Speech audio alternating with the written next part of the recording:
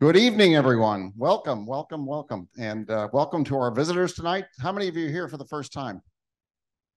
Fantastic. Yeah, all right.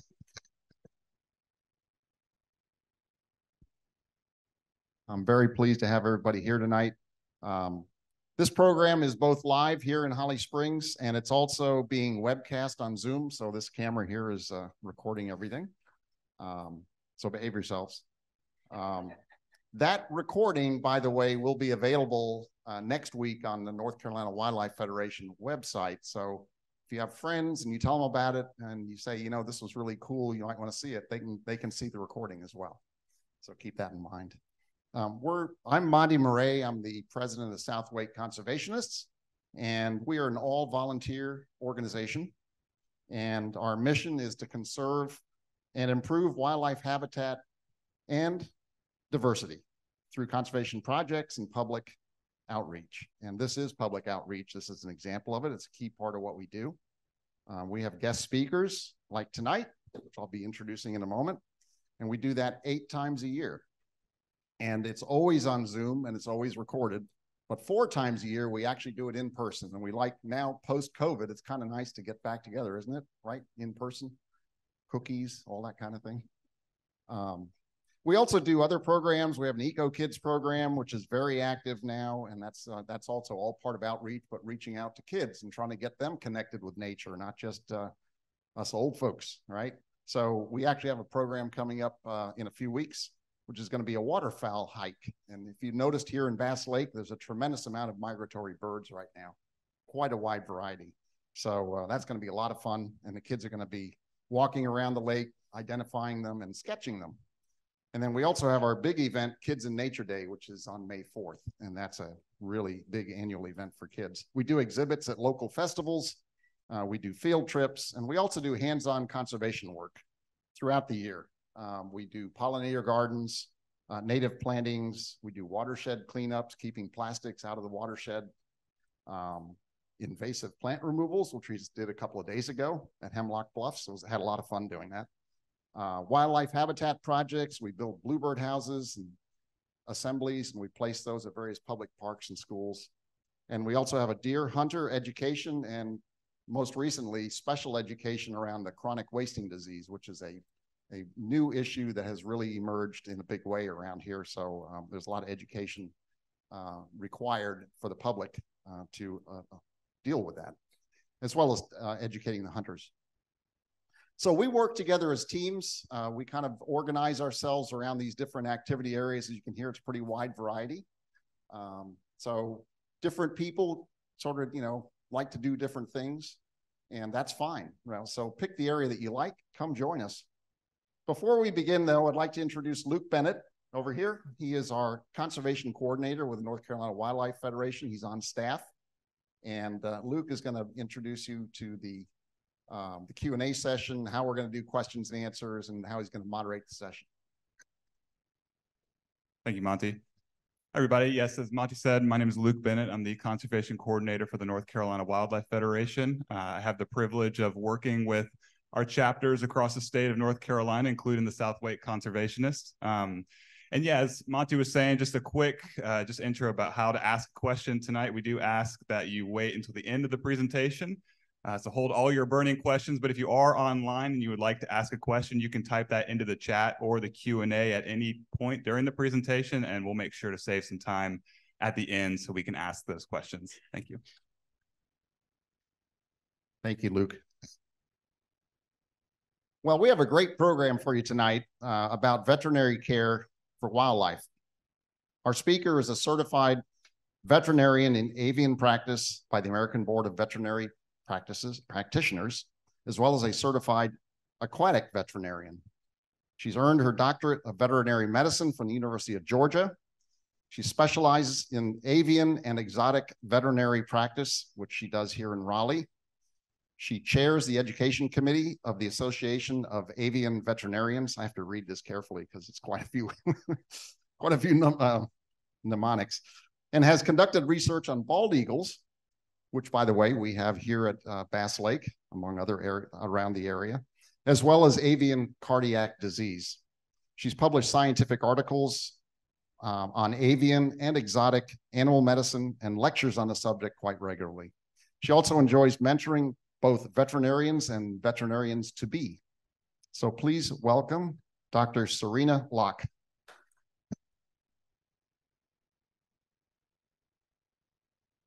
Thanks, Monty.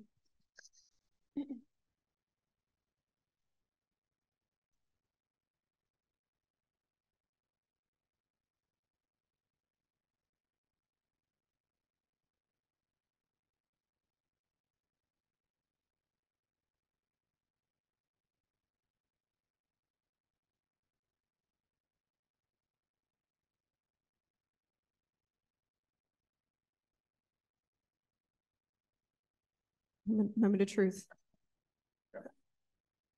Awesome. All right. Well, so Monty has already introduced me, but I'm Dr. Salina Locke. I'm owner of Avian and Exotic Animal Care here in Raleigh, North Carolina. And all we see are exotic animals. Tonight, I'm going to talk to you a little bit about what our practice does for wildlife um, and a few, just go over a few of the interesting cases that we've seen over the years. So we have a pretty big hospital. It's 8,500 square foot. It's dedicated solely to non-traditional species of animals, where there rains, rain, sleet, snow, or shine. If an animal is too nervous to be transported to our hospital or too large, um, we also do house calls. You could say we get a hawk's eye view um, of our of our uh, animals uh, at home care. So um, we're an exotics exclusive practice. I've told you that already. Uh, but we we provide diet and husbandry advice for our clients, um, but also medical, surgical, and intensive care treatment for all of those non-traditional species. And so, what is a non-traditional species? That would simply put, it's anything that's not a dog or a cat like like Geo here. He's he's not a North Carolina fox. This is a fox from Africa, a fennec fox, um, but he's one of my favorite patients. So breakdown of the species that we see. Um, we see on average about 50% mammals, 24% reptile, 23% avian cases, about a percent and a half of aquatic cases, and then a percent and a half of other species. This is our team. Uh, currently, we have five full-time veterinarians and one veterinary intern. This is me. Um, like Monty said, I'm board certified in avian medicine, but I'm also a, an, a certified aquatic animal veterinarian, um, and I'm an assistant adjunct professor at the North Carolina State Veterinary School. I'm chief of staff uh, of my hospital, so I help direct the med- the way that we, we practice medicine. Um, but I'm also a chair of the Association of Ed- the, the Association of Avian Veterinarians, which is an international group that helps to provide educational material and learning for veterinarians around the world. There's also Dr. Dan Johnson. Um, he is a certified exotic um, companion mammal uh, veterinarian, and he has a whole laundry list of, uh, of accolades. Um, he's also an adjunct professor at the, at the, at the vet school, um, and he, he educates internationally.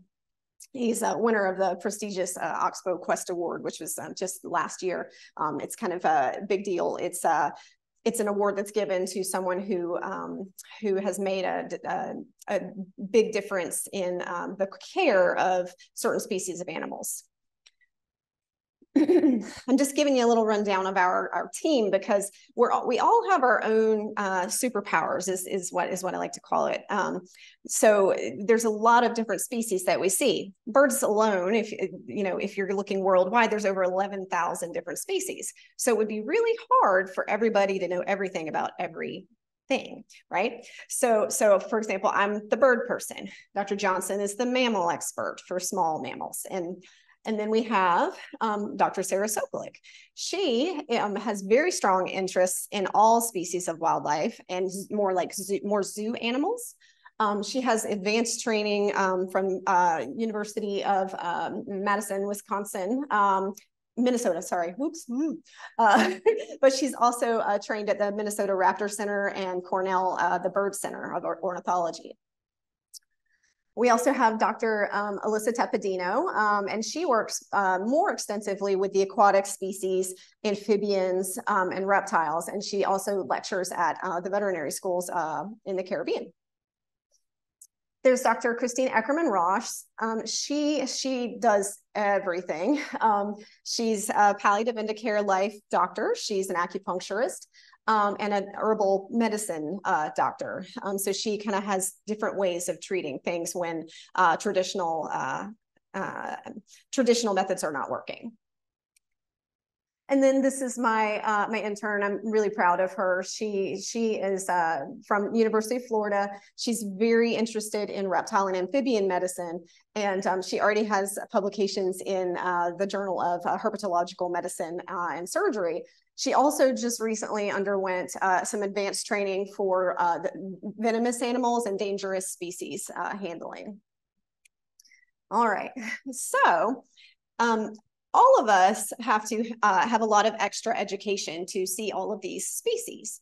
This is uh, some a program that our um, team does annually called the, Tur the Turtle Ally Program.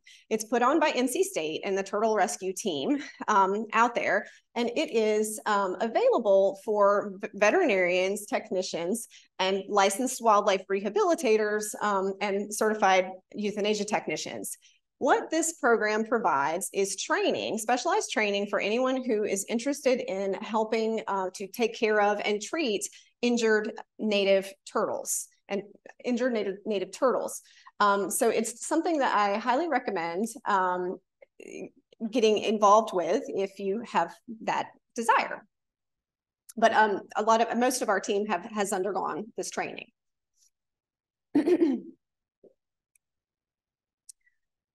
our support team so it's not just us. Um, i have a staff of 50 other people not including those those those veterinarians. Um, and amongst my support staff um, we have certified wildlife rehabilitators we have registered veterinary technicians and even uh, licensed wildlife agents. So i'm to talk to you about kind of some of the things that we see. Um, during migration season we see a lot of window strikes. Um, with species like like this pileated, pileated woodpecker here. This is American kestrel. Um, but we also see, you know, your migratory birds and things like hummingbirds, some of which will come in and very, very starved and dehydrated, like this little guy. He ate a ton. He ate he ate almost his body weight in in fluids at that point. Um, so um, during the spring, just like many wildlife rehabilitators probably already know, um, we see a lot of um, song songbirds um, needing needing food almost around the clock. Um, my team members will, uh, whenever we get these animals brought into us, will bring them. They'll they'll adopt one of them. You know that'll this is this is my my bird that I'm taking care of today, um, and they will feed them every hour or however frequently that that species needs to be fed at that time. Um, and they even they'll take them home at night, and then eventually they will be placed with a wildlife rehabilitator prior to release some little, little bluebirds. During the spring, we hear this around the hospital.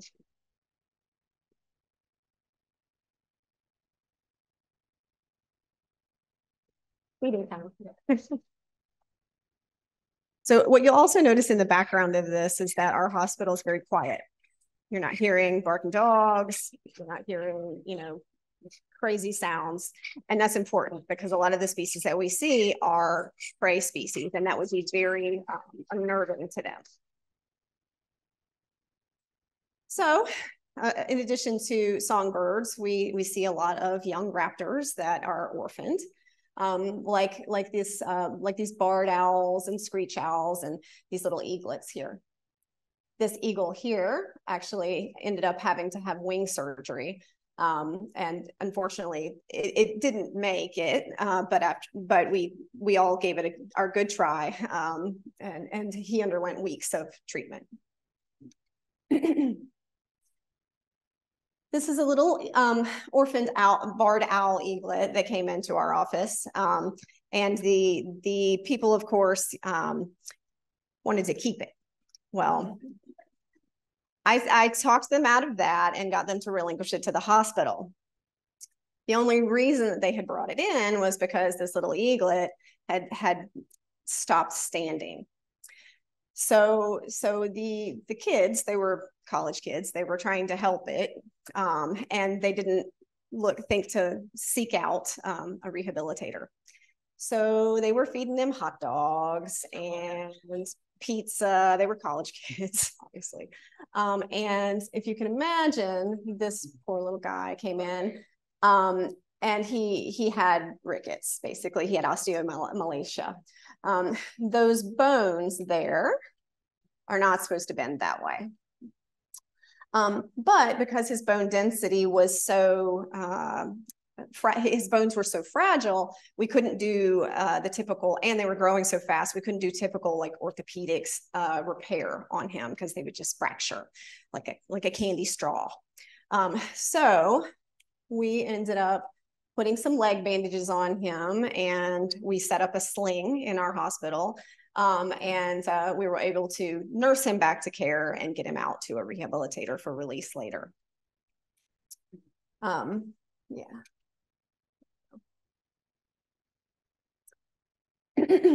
so um, in addition to birds, um, we also would get the we, we get quite a few mammals um, that have been orphaned. Usually during the spring, when we get calls about baby rabbits, um, we try to get the get the the clients to put them back, leave them where they are. You know, mom only feeds them like once or twice a day, so so and she's off doing her own thing. Um, these guys are pretty self sufficient. But sometimes when they know that the mother has been killed by a dog attack or a cat attack, we will oftentimes have to bottle feed them. Again, another species that we're going to have to feed throughout the night all around the clock. And again, my wonderful team will pull together and they will be like, okay, so you took him home last night. You're probably pretty exhausted having to get up every hour to feed and um, you know what have you. Um, i'll take it tonight. I have a great team. Um, so uh, just here's a dog dog and cat attacks. Cats um, wild cats being outside um, they they put such a, a, negative impact on our our local wildlife. Um, and if a dog or a cat, especially, um, does attack a, an animal like this, they, they will need medical treatment. Uh, the bacteria in their mouth is uh, going to lead to sepsis if this poor baby rabbit isn't, isn't treated. This little guy had to undergo fluid therapy and um, some, some uh, laceration repair that re required stitches.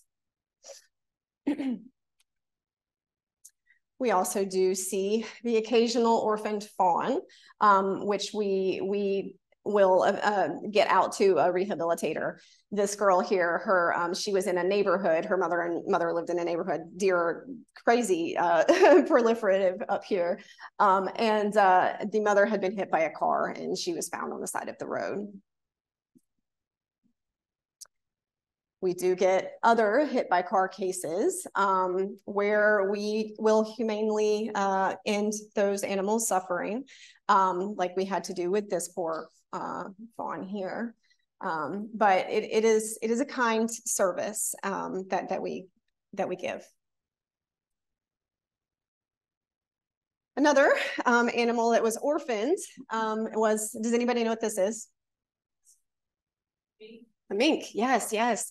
I didn't even really know that these, you know, were common here, or I don't know if they're common, but I didn't realize that they they were here.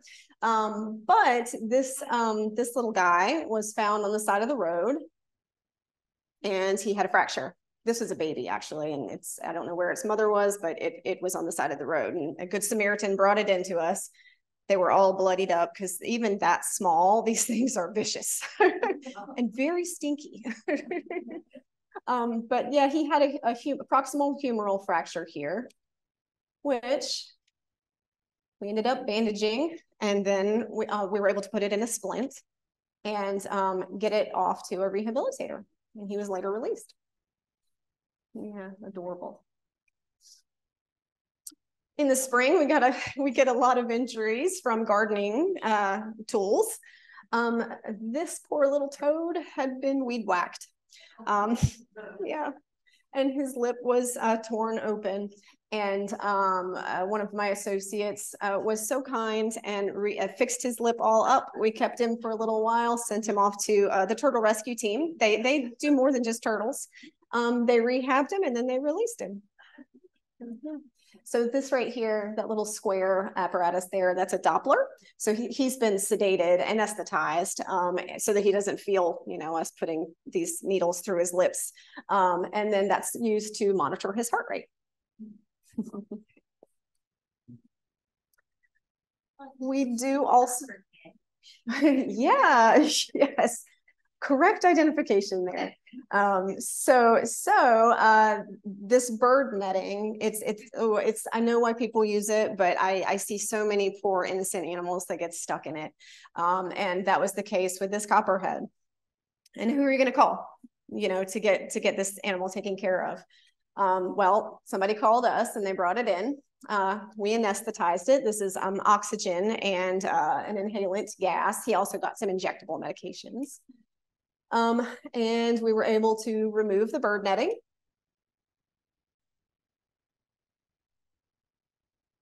That those are the injuries. Yeah, yeah. Um, he required a couple of stitches, but and then he was recovered and then released into a safer place.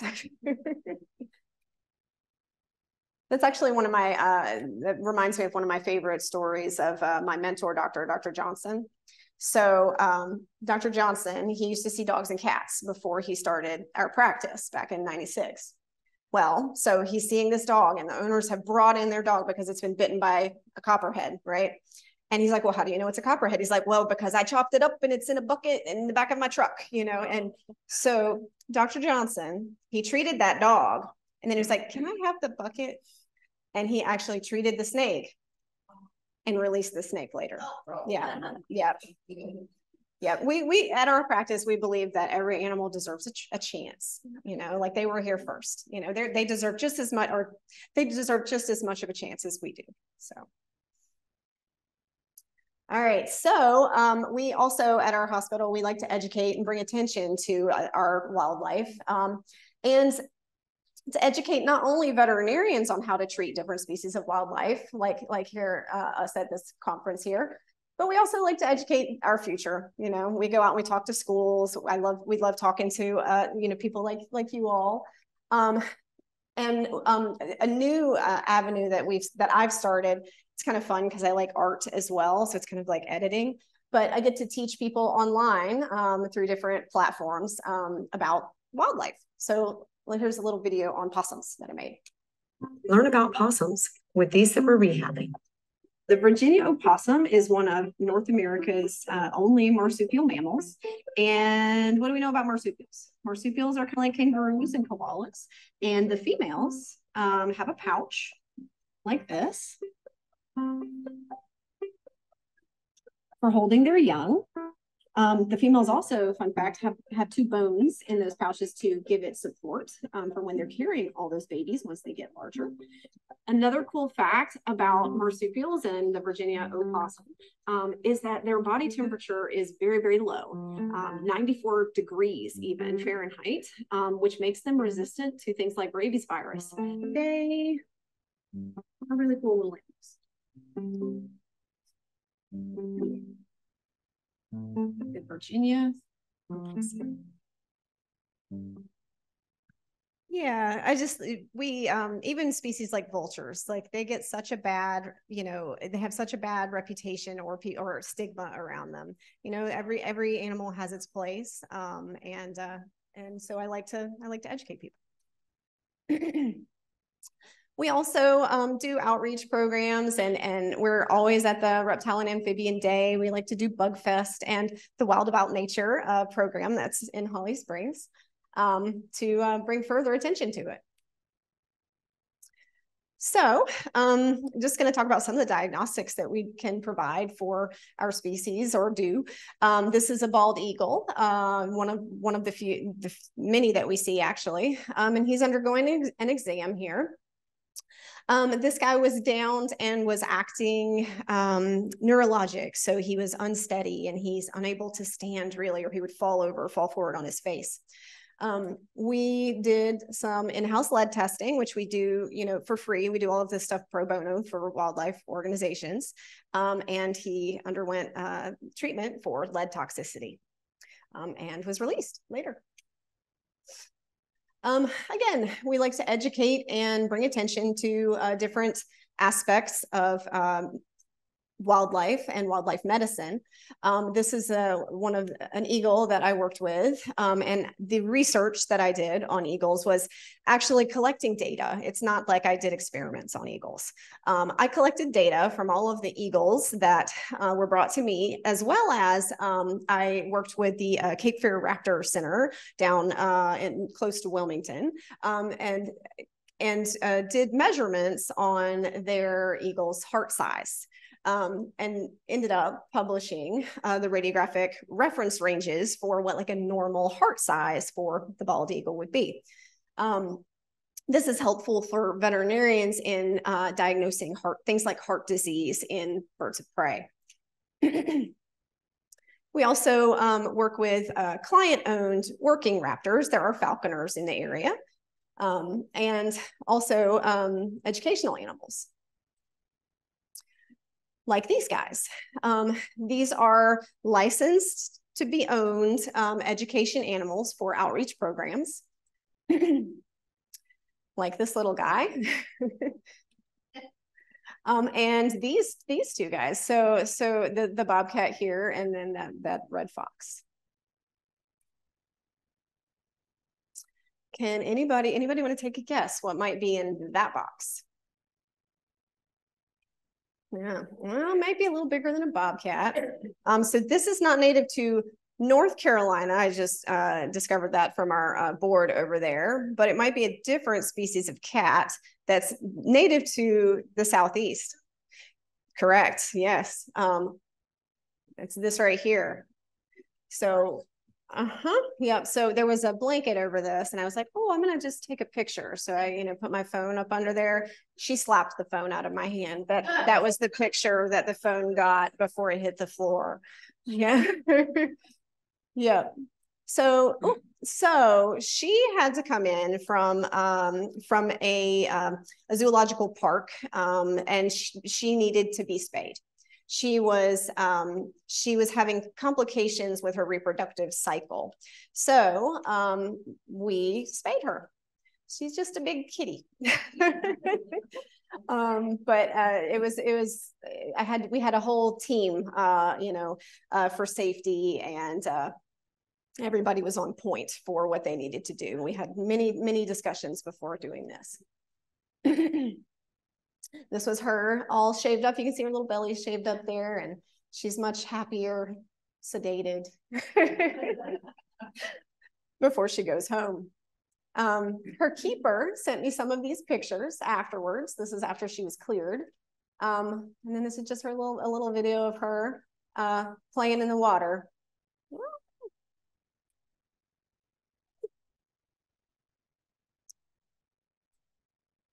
Oh, yeah just a little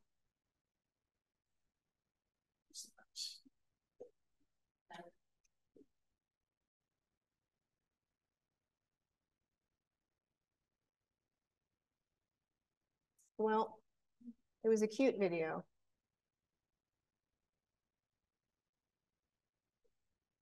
Oh. So yeah, it's a video of her playing in the water. Um, but that's okay. You can imagine her moving around and another cougar pacing back and forth. Uh, does anybody know uh, the the is it five or six names for this cat? Mountain lion, Mountain lion puma, panther, cougar, and anybody know the last one? Painter. Painter. Painter? Painter, panther. Panther? Okay, panther. And then there's one more. The catamount. So, yeah. All right. sometimes we will see animals that have mistaken things for food, like this black rat snake here. Um, this black rat, rat snake, I will tell you, was driven to us from Pinehurst. Took a radiograph. and he had swallowed a golf ball. We did surgery and removed it. we were ecstatic. This is Dr. Alyssa Tepedino. And these two fine folks are in veterinary school now in their third year, going to graduate next year. So. So now I'll talk to you about the case of baby girl. Um, this was a deer that was hit by a car. Well, so baby girl um, lived on an apple orchard and had become, it was a very quiet place. Um, she had become accustomed to getting pretty close to the owner of the apple orchard who accidentally backed over her. Well, he just could not bring himself to euthanize her the way that people are trained to euthanize deer. So he gave us a call and he was like, look, I know this sounds crazy, but would you do this for it for us? So we drove out there and we we we were able to get a hand on her to sedate her. This is me back in my younger years. um, we were able to sedate her and and we transported her back to the hospital. I had to be back there monitoring her heart rate and respiratory rate and everything. And you see we have a towel over her head to um, to protect her eyes. Um, and we were able to pin her leg. You can we uh, brought her back here for um, he had he had chickens or pigs i can't remember something like that and this was just a pig stall that he had uh, she could come and go as she wanted like honestly she could jump out the, the door was just like this tall like we know deer can st- step flat-footed over that. But if you see there's this little blue thing there on that the can't her cannon bone that's kind of far away from the camera there. But um she stayed out there and this was on the day that we went out to we knocked her down in the field and we were able to take those those pins out and and she did fine for years so yeah kind of a happy story and then we have this uh, Canada goose um, uh, in the story of the baby booty. So um, this goose was run over by um, a, a, kid's bicycle wheel um, and sustained a fracture to its leg right there. Oh, we put a splint on it, um, a little booty like this, and we were able to later release this gosling. So has anybody wondered what the other one and a half spe percent species was that aren't fish or amphibians? Shorebirds or well, I would call it, I would put them in. We have we have seen shorebirds, and I almost I took that I took some shorebirds out, but insects. Yes, that's right. We see insects and invertebrates also. Well, and this is one of my favorite stories. Um, again, this was with this this story. This uh, story I helped my mentor doctor with years ago, before even before I was a veterinarian. I was getting ready to go to that school. So there was a lady. She was a teacher, and she was walking around her car, and she heard a crunch, and she looked down, and there was this guy a garden snail. And she felt so bad, so bad that she called us. Hey, doc, this is this sounds crazy. We get that all the time, but can you help? Well, of course we can. We're going to try. So this is um, this is Apple before his surgery. Um, he's well during his surgery actually. Uh, the uh, cucumber there is to keep him occupied. We had to pick out the uh, damaged and um, pieces of shell there um, that would end up becoming just uh, nidus for infection. Um, we did radiographs you can see uh, the the cracks uh, in the in the shell, but otherwise the the structure is uh, undamaged. We placed a fiberglass patch, which you can see right down there. It's kind of a little close up on it, which we would inspect with our endoscopic equipment like this. And would you know that when we went in there to look at this, that snail was just as calm as could be. And he would pull himself into his shell. I don't know how they do this, but would pull himself into his shell and he would put his little antenna over the camera and like he was looking in to see what was going on. Yeah, it was the craziest thing. Well, that snail went on to live at least 10 more years. And every year, that snail would go to the mall and get a picture with Santa and send us a Christmas card. And yeah, yeah, this this is why this is why I do what I do. Um, and with that, that's all that I have for you tonight. And now I'll answer questions.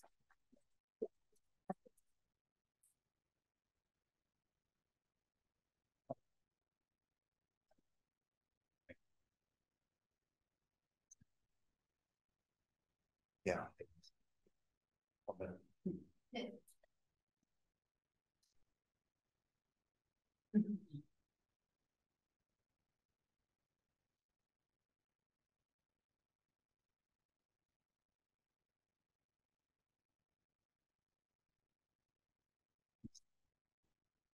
So if anybody has a question here in the room, we'll need to use the microphone partly so everybody can hear, but also the people um, on the webcast so they can hear as well. So if you have a question, raise your hand. I'll bring the mic to you.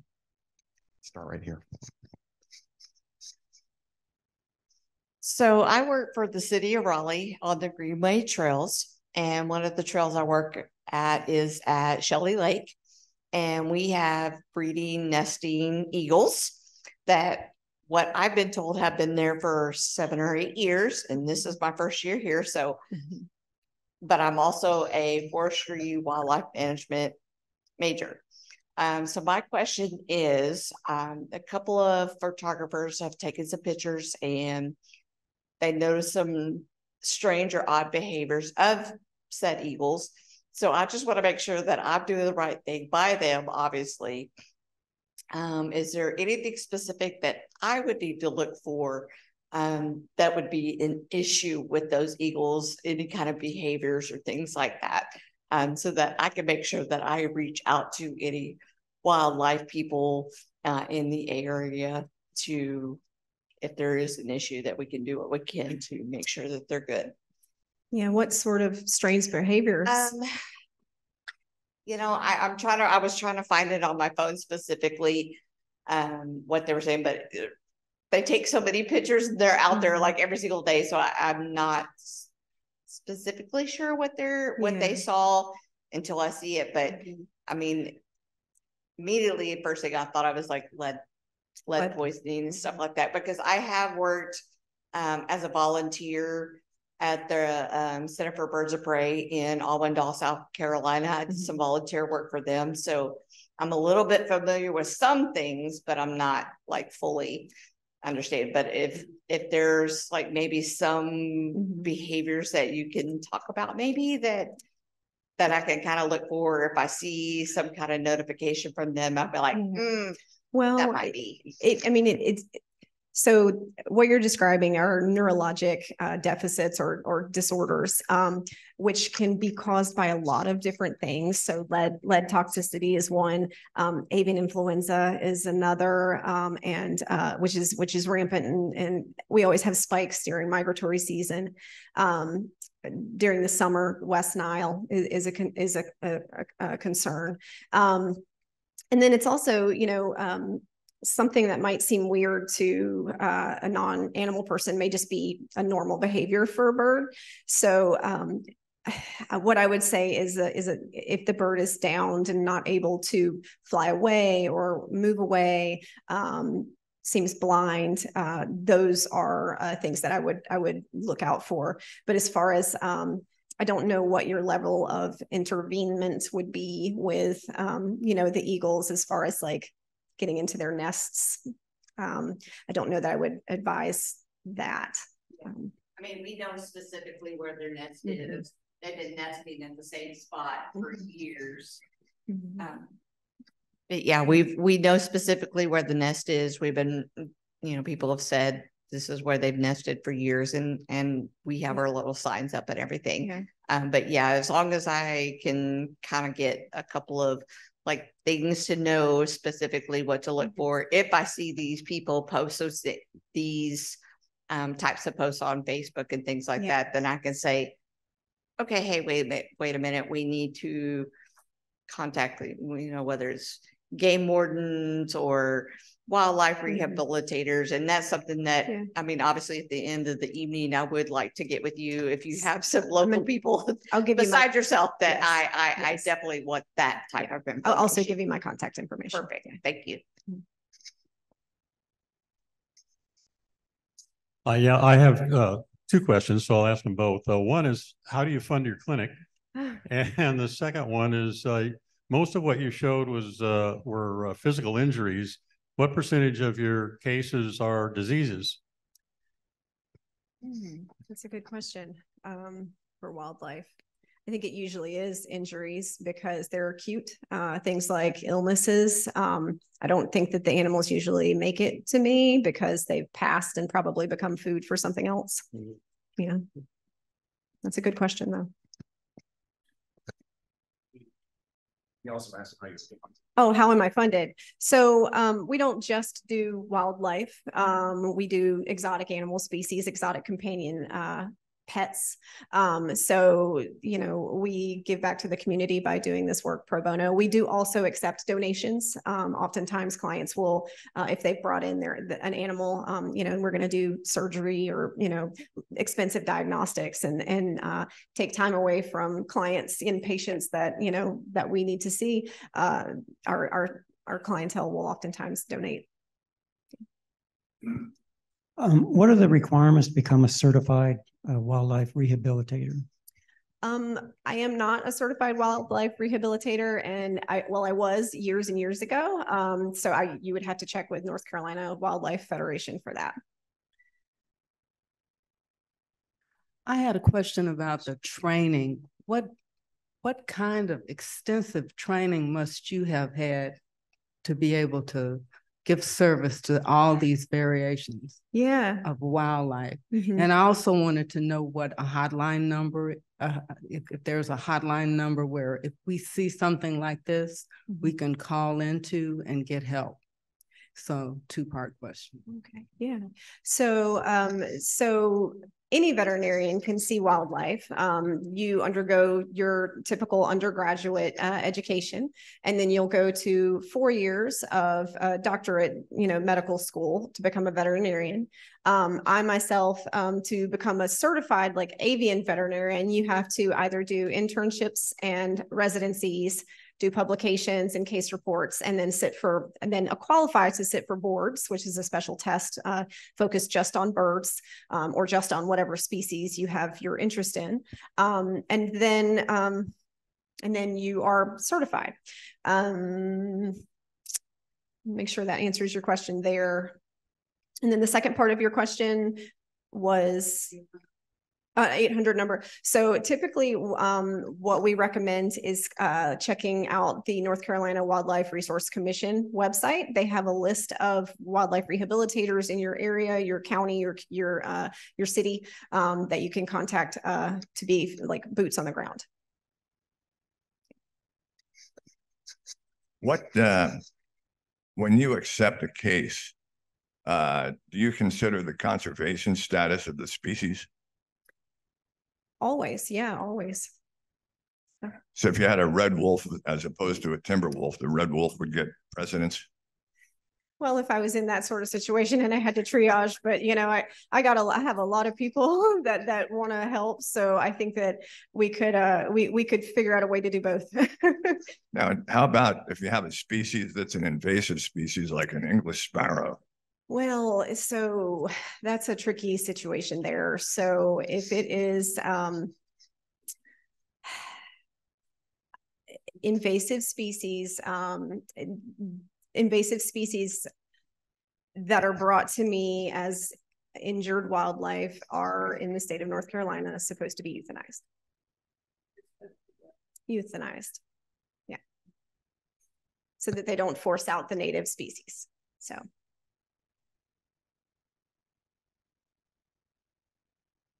One of the sad parts of my job.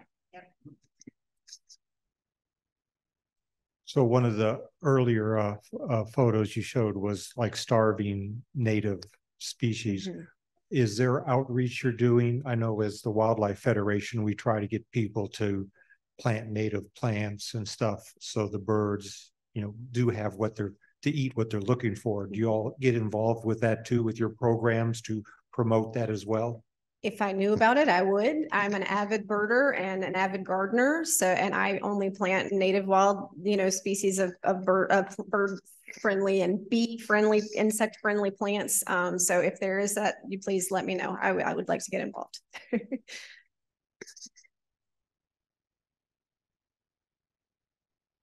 The, uh, the raptors that you deal with, do you ever, do you like keep a record or do you follow up? Uh, in terms of, you know, once they've been, you know, turned over to a rehabilitation facility, Mhm. uh, do you kind of keep a record of, and, you know, what percentage of these birds do you think eventually get returned to the wild? Um, about fifty-six percent last year. So it's pretty good odds. And ones that aren't returned to the wild are typically, um, they're, they're placed in, in like an educational program if they can be, if, if they can't be released. Have you ever had occasion to uh submit something to the uh Fish and Wildlife Service Forensics Lab, Wildlife Forensics Lab? I don't know that I have. No? Okay. Oh, um, are you talking about like, uh, for investigations? Yeah, Uh, yeah, oh, it's out yes. in, I think it's in Oregon or Washington, Um, Oregon. I, I have had, I have had submitted some cases where actually federal agents have had to come out and collect evidence that I have gotten for them, uh, in order to, um, take care of Yeah. things that were not supposed to happen. Yeah.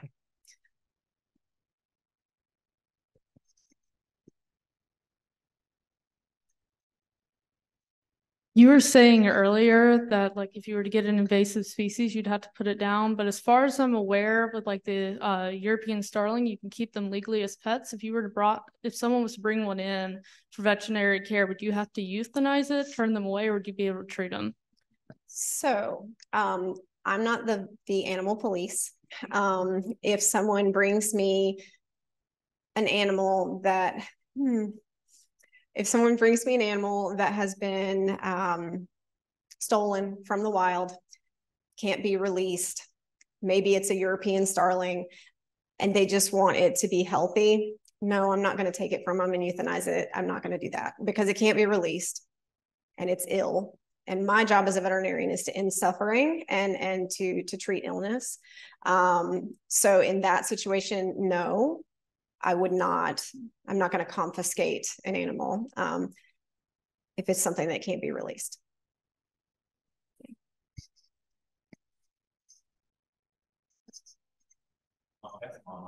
Okay. I do Take some online questions now.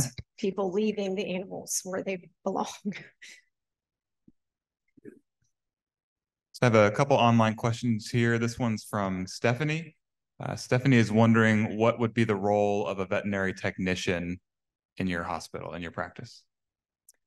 Well, I mean, the, our veterinary te- technicians are the backbone of our practice. Um, they, I mean, gosh, they do everything. Um, they, they're the equivalent of a human nurse.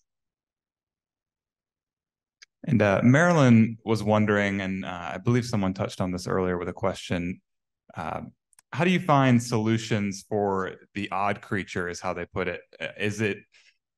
And I was kind of wondering the same thing. I mean, with so many different species that are coming to your to your door, is there you know you know one size fits all with these practices, or is it just a combination of your minds coming together and coming up with treatments? That's a really good question. Um, so I get bored easily and I really love to come up with uh, creative ideas and creative ways to to fix things. And um, that is really important in the job that I have. Um, it's not unusual for me to have to invent a piece of equipment so that I can intubate this certain species because it has um, it has a divider in its trachea, so you can't put a normal intubation you know tube in it. Or you know we have to come up with creative ways to make pressure relieving bandages and little shoes. Um, so we have to invent and create and engineer uh, specific ways of treating our species. Uh, I believe you already answered this, but just to reiterate, so the main facilities that people should contact if they find wildlife in need of help. Uh, North Carolina Wildlife Resource Commission We direct people there all the time. all the time. I have one more question online here.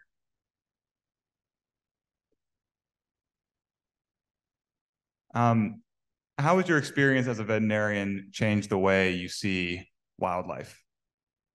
Change the way you see animals in the wild? I mean, wow, like I, I, I have always been uh, just curious and, and, and wondering, you know, what are they thinking? Why do they do that?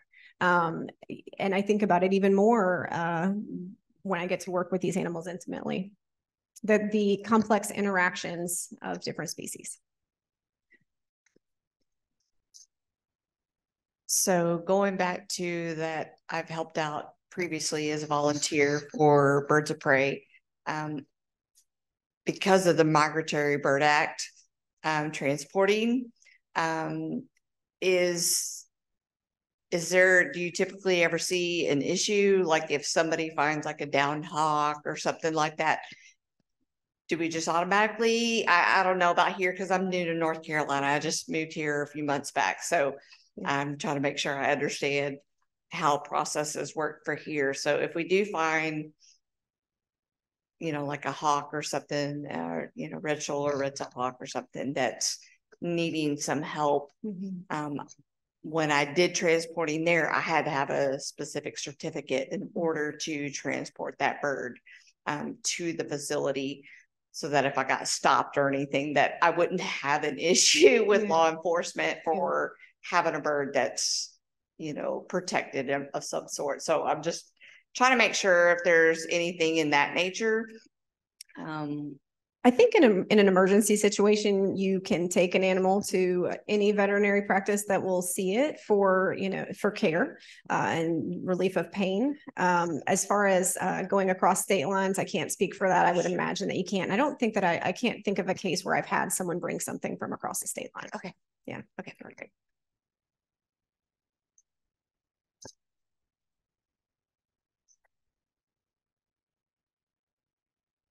Always count on John for an extra question. Yeah.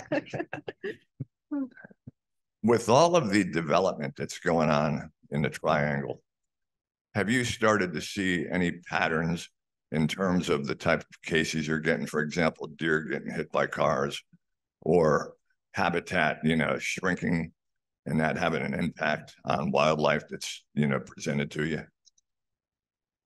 I would say that I definitely, um, I see in the fall especially, I see more uh, owl car strikes uh, because the roads are through their forests um, and that, that they don't, they're not looking both ways and they just swoop through and, and we, I, I feel like that's, I've noticed that more um, and more hit by car, you know, turtles um, for sure. Yeah.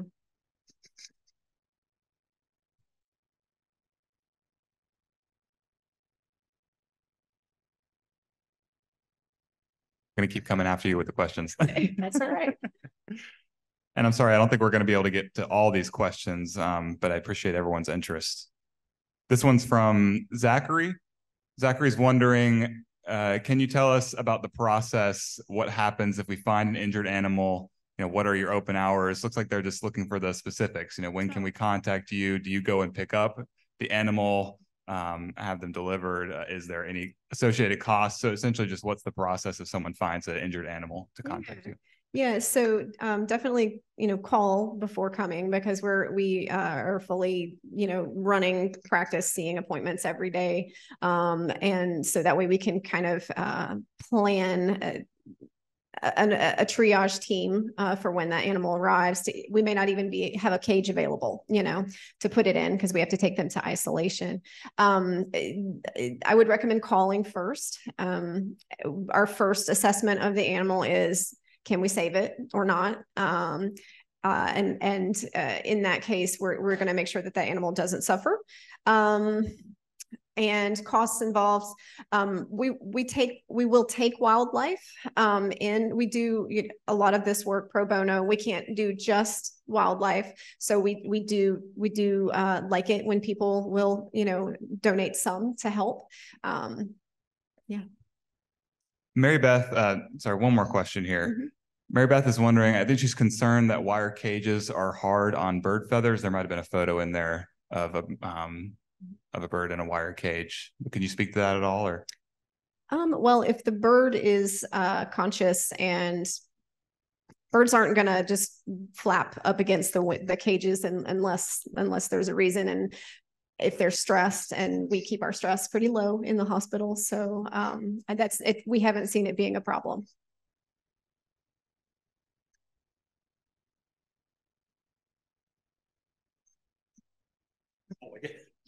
I get one more. Uh, as I understand, and maybe someone else here can correct me, uh, because of chronic wasting disease, the Wildlife Commission is no longer taking injured deer to rehabilitation facilities. Is that the same uh, with your facility? Yeah, I we haven't I haven't seen a well that de- that last deer, the big one that we had to to euthanize, that that's the last one that I've seen, and that one was um kind of the beginning of this year, this year. So then, as I understand, they simply euthanize them on the spot. Uh, if they have chronic wasting Yeah. disease, yes. Well, they won't know that till they euthanize them. Well, There's no live test, so. if they're showing signs of wasting, then I would recommend euthanizing them if they were uh, debilitated.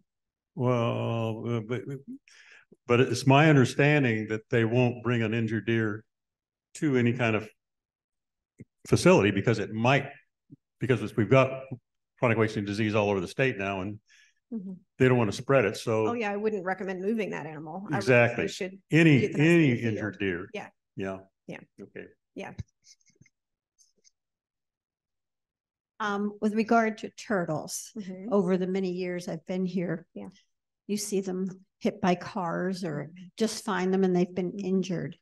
So what do you, you know, especially if they look like they've really been hurt, what do you suggest doing with them? I mean, I wouldn't want to have brought every turtle up that I found or someone brings to me. What could we do to help them without bringing them to you if it's pretty obvious they're you know, Um, pretty I, gone? I can't, uh, recommend an at-home like euthanasia Mhm, Just let them method. be. Um, but I would recommend just contact the North Carolina Wildlife Re- Resource Commission, Mhm. um, or the turtle out, the turtle, uh, rescue, uh, Right. team at, at NC Mhm. State. Um, turtles can, are much tougher animals than, than you would, you would believe, um, and can, can, uh, recover from a lot of really serious Yeah. looking injuries. I've, I've told some people to do that. Yeah, But I thought, well, yeah, any other options? yeah, unfortunately, no.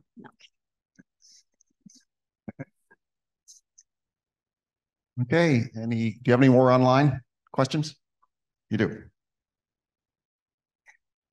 John, John's gonna sneak one more in. This doesn't relate entirely to veterinary care, but uh, I've been told that if you see, for example, a box turtle or other turtles crossing the street and you want to get out and help them, that the worst thing you can do is, you know, travel any kind of distance uh, because then they're out of their natural habitat. So is that correct? Correct, yes, and you could be spreading disease to another part of the state, so, yeah. So basically just let them go across the road and do their thing. put them on the opposite side of the street. Yeah, where they're facing. And if it's difficult, if it's one of those situations where trying to put them on the opposite side of the street is hard to get to, what, just put them as close as you can to, you know, where he was crossing? Sure. Yeah. right. I guess. I don't know if there, there's a right answer there. All right. All right, I'll leave you alone. Yeah, no, it's okay. I don't know all the answers. I don't have all the answers. Everybody. No, we're good. Yeah. All right. Last call. Any last questions? Online or in the room? I have not, a lot of my staff has. Yeah. All right, so let's give it up for Dr. Locke.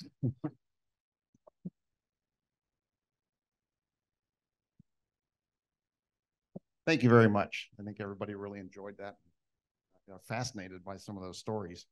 Um, please join us for our next webinar, which will be on February 1st. We're going to have Chris Bass, who's the owner of Chris Bass Engineering. And he's a board member of Partners for Environmental Justice. And he'll talk about nature-based solutions and environmental justice. That's a webinar. It's not in person. As I say, we kind of alternate between just webinar and doing a, hybrid. Uh, this is on uh, February 1st. So please join us for that. I want to thank uh, the webinar audience for joining us this evening. I hope you enjoyed it as much as we did here in Holly Springs. Uh, this is the end of the webinar.